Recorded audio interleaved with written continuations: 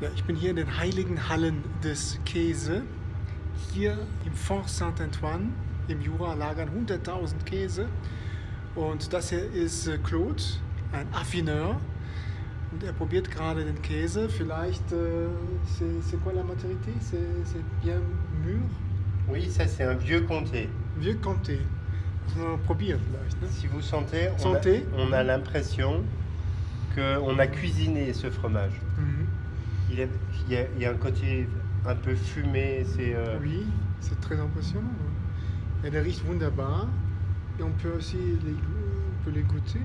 Darf. L'avantage c'est que la texture, elle va rester aussi très, très onctueuse, Mhm.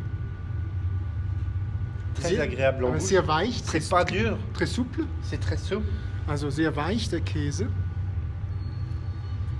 Ich mal. Et le goût, euh, Mhm.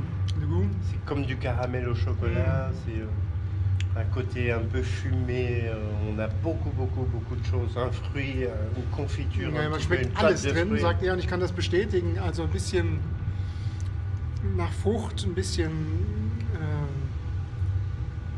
wie Karamell fast. Ne? Mm, mm, Un peu caramelleux. mm. Sehr lecker.